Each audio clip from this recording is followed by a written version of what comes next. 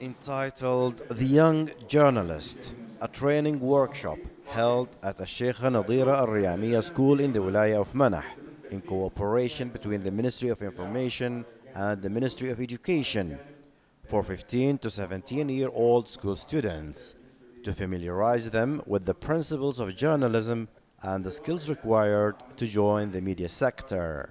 It was a fantastic workshop to take the role of presenter. I learned a lot of things about journalism and media principles.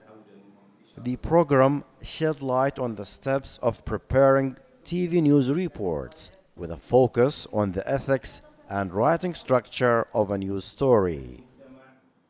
I am really happy to learn how to be a TV presenter. It's an interesting job.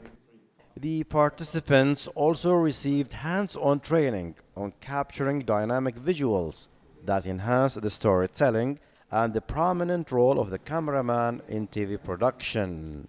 Broadening youngsters' understanding of journalism before they embark on various media outlets will create a strong base of sophisticated journalists who will enrich the national media arena.